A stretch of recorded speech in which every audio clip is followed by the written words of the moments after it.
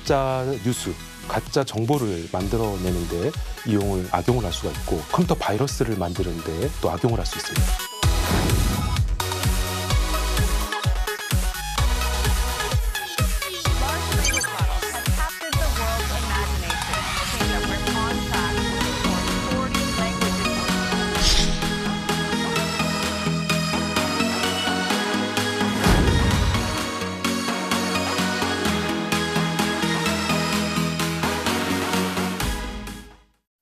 AI와 반도체를 비롯한 기술의 발전이 국제 정치, 경제, 문화에까지 막대한 영향을 주는 시대가 됐습니다. SBS의 사회공헌 지식나눔 프로젝트인 D포럼에선 AI 시대 다시 쓰는 경제 패러다임을 주제로 세계적인 석학들의 강연을 들었습니다. 그중에서도 특별하게 관심을 가져야 할 내용 어떤 것이 있는지 다시 짚어보겠습니다. SBS 미래팀의 이정혜 기자, 김지선 기자 나왔습니다. 두 분 어서 오세요. 네. 안녕하세요. 네, 먼저 이정혜 기자. 네.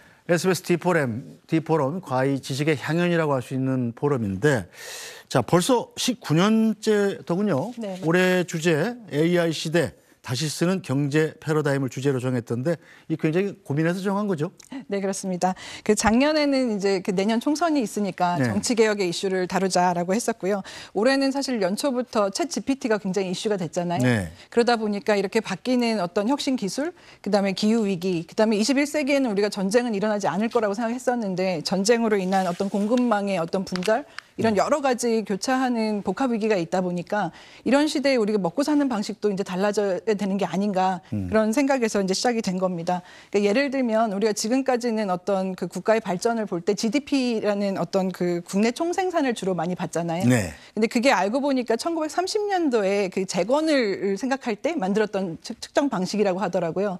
근데 지금처럼 기후 위기를 우리가 생각해야 되는 상황에서는 이런 양적인 어떤 성장을 계속할 수가 없기 때문에 그럼 이런 시대 에는 경제를 어떻게 다르게 봐야 되고 특히 혁신 기술 같은 AI 같은 혁신 기술이 나타나는 시대에는 어떤 그 어떻게 다르게 경제에서 역할을 하게 될 수 있을지 그런 것들을 이제 봐야 되지 않을까 해서 올해 주제를 AI 시대에 다시 쓰는 경제 패러다임으로 잡았습니다. 네, 자 SBS D포럼 평소 접하기 어려운 세계적인 석학들이 나와서 강연하는 걸로 유명하잖아요. 올해는 어떤 분들이 나오셨나요?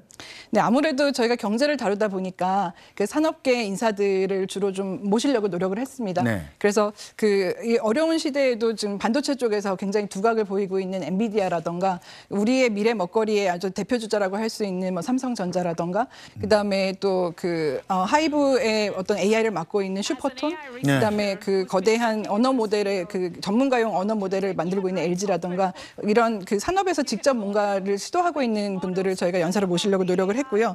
특히 첫 번째 기조 연서 같은 경우에는 엔비디아의 AI 분야 책임자인 안- 아니마 아난드 쿠마르였는데요. 네. 어, 지금까지 저희가 챗 GPT가 유명해졌다 보니까 이제 창작 영역을 계속 많이 언급을 했었는데 이분의 얘기는 AI의 사실 가장 큰 가- 강점은 굉장히 복잡, 뭐 복잡한 어떤 구조가 있을 때 그 구조를 그 자- 제대로 분석하고 처리하는 게 굉장히 강점을 가지고 있다라고 주장을 하고 있습니다. 네, 엔비디아 AI 연구 책임자 아나, 아니마 아난드 쿠마르의 강연 내용 잠깐 보고 가죠. 네, 그럽시다.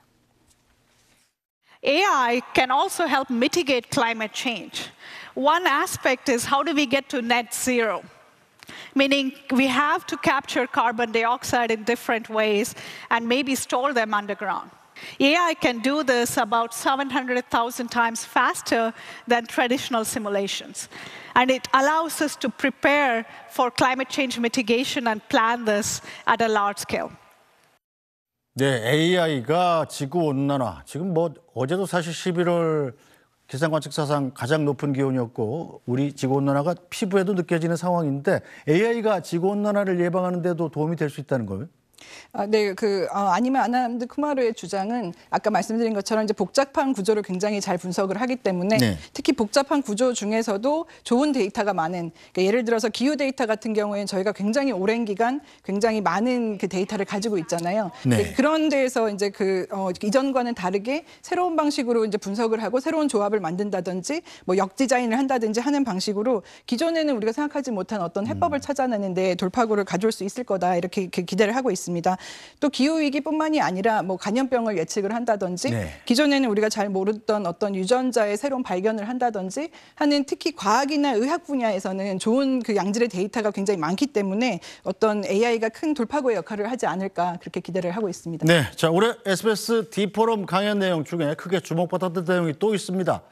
AI가 필요로 하는 고성능 반도체는 그럼 어떻게 만들어야 할지 글로벌 기업들이 어떤 준비를 하고 있는지 엿볼 수 있는 내용입니다. 기존의 컴퓨터 시스템의 경우 마더보드 위에 DRAM과 로직 칩이 실장되어 칩과 칩 사이의 거리가 멀어서 성능 향상에 한계가 있습니다. 로직, 메모리 반도체 각각의 발전뿐 아니라 이들을 물리적으로 그리고 설계 아키텍처적으로 가깝게 만들고 결합해서 컴퓨팅 시스템 전체의 성능을 올리는 것이 고성능 AI를 구현하기 위한 반도체의 발전 방향이라고 하겠습니다. 네, 뭐 AI 반도체도 진화가 필요하다는 얘기죠. 삼성전자를 비롯한 글로벌 기업들이 어떤 방향으로 가고 있는지 엿볼 수 있는 내용이었겠네요. 네 맞습니다. 그 어, 삼성전자의 그 조금 전에 보신 강문수 어드밴스드 패키지 사업팀장도 저희 공동 기자 기- 기조 연설자였는데요. 그러니까 우리나라를 대표하는 먹거리 중에 이제 반도체가 있다 보니까 AI 시대의 그런 반도체는 어떻게 되는 것인가에 큰 관심을 가졌습니다. 그 AI 시대의 특징이 서로 다른 분야 간의 어떤 소통과 연계라고 지금까지 얘기를 많이 하고 있는데요. 소통과 연계를 통한 새로운 해법의 그 어, 모색이 이제 그 특징입니다. 근데 그것이 제조 분야에서도 그대로 지금 적용이 되고 있다는 겁니다. 그래서 이전 같 으면 예를 들어서 사람의 어떤 사고 영역인 뭐 로직 메모리와 어, 기억 영역인 메모리 반도체가 굉장히 다른 그 두 가지의 그 어, 다른 방식으로 발전을 해왔다면 지금은 로직 반도체와 메모리 반도체가 하나로 묶여서 그 하나로 결합된 상태에서 같이 성장을 해야 된다고 그렇게 주장을 하고 있습니다. 그 AI가 필요로 하는 반도체는 그렇게 그 이종 간의 결합을 통해서 이루어진 어떤 그 새로운 방식의 그 어, 조합이라는 건데요. 이, 그러다 보니까 이런 새로운 조합이 만들어지면 이전에는 우리가 생각하지 못했던 어떤 난제들도 풀어낼 수 있지 않을까라는 기대를 하는 거고 AI가 그런 가능성 시대의 어떤 유용한 도구가 될 것이다. 네. 연사들은 입을 모았습니다. 자, 이 밖에 또 AI 시대에 우리가 주목해야 할 내용들은 어떤 것들이 있었습니까? 네, 좀 전까지는 제가 산업 쪽의 얘기를 계속 네. 드렸는데요. 저희가 오후에는 일자리 얘기를 사실 했었습니다. 네, 일자리 중요하죠. 네, 특히 이제 불안정한 어떤 일자리가 많아질 수밖에 없는 상황인데요. 어, 세계적인 노동 경제학자 가이 스탠딩, 그다음에 중앙대 그 이승윤 교수가 특히 이제 이 AI로 인해서 혁신적인 기술이 이렇게 생겼을 때 이 불안정한 노동 가운데서도 고용 관계나 노동 형태, 그다음에 노동 장소 이런 것들이 바뀌면서 기존의 전통적인 기준이 더 이상 이제 잘 드러나지 않을 때 어떤 식으로 사회 보장 제도나 그 노동법이 바뀌어야 되는지와 관련된 얘기를 주로 나눴습니다. 특히 우리나라는 지금 사회 보장 그 제도 자체가 정규 노동자 중심으로 좀 짜여 있거든요. 네. 그렇기 때문에 이러한 불안정한 노동자가 많아질 때는 누락될 수밖에 없는 사람들이 늘어날 수밖에 없습니다. 그래서 어, 사회 안전망을 둘러싼 어떤 제도 개혁안도 지금 논의가 한참 돼야 되는 시점으로 그렇게 강조가 됐습니다. 네, SBS D포럼의 특징이 문제의 제기뿐 아니라 앞으로 중장기적으로 우리가 나아가야 할 정책 제안을 한다는 거잖아요. 올해는 어떤 정책 제안을 했습니까?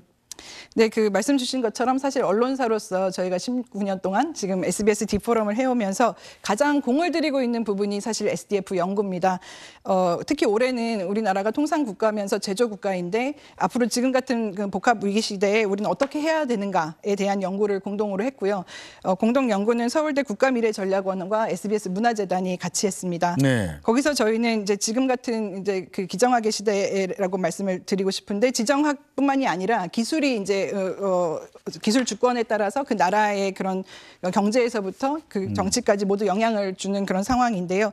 그런 상황에서 그런 혁신 기술을 어느 나라가 가질 것이냐, 그다음에 그런 혁신 기술을 가지고 기술 주권을 우리가 가질 수 있을 것이냐 없을 것이냐, 그리고 그거를 통해서 경제 안보를 지켜낼 수 있을 것이냐, 그리고 기술 경쟁력뿐만이 아니라 어떤 글로벌 제도 경쟁력을 우리가 확보할 수 있는 것이냐, 이제 그런 것들이 이제 굉장히 중요하다는 얘기를 나눴고요. 거기를 통해서 저희가 다섯 가지 정책 제안을 했습니다. 그래서 부처와 기관 간의 어떤 협력과 조정을 꾀할 수 있는 국가적 컨트롤 타워가 구축돼야 된다. 또 과학적인 증거 기반의 통합적 전략이 수립돼야 된다. 그리고 한국형 형식에 맞는 어떤 규제 프레임이 설정이 돼야 된다. 또 어, 기초 연구 개발에 투자가 확대되어야 된다. 또 정부와 국회의 성과 평가 기준의 개선 등을 아주 강력하게 네. 제안합니다. 자, 그렇다면 연구팀 좌장 역할을 한 이정동 서울대 국가미래전략원 과학과 기술 클러스터장의 이야기로 들어보겠습니다. 기술 혁신과 경제 안보에 힘쓰기 위해서는 관련 부처 및 기관 간 협력과 조정을 꾀할 수 있는 국가적 컨트롤 타워가 중요합니다. 경제 안보의 핵심인 공급망 안정, 혁신 기술의 개발, 그리고 이를 위한 국가 간 협력은 서로 긴밀하게 연계된 키워드들입니다. 분산된 기구와 역할을 통합적으로 관리해야 국가 간 협력 외교, 통상 외교의 조정, 그리고 과학 기술에 대한 투자가 전략적으로 가능해집니다.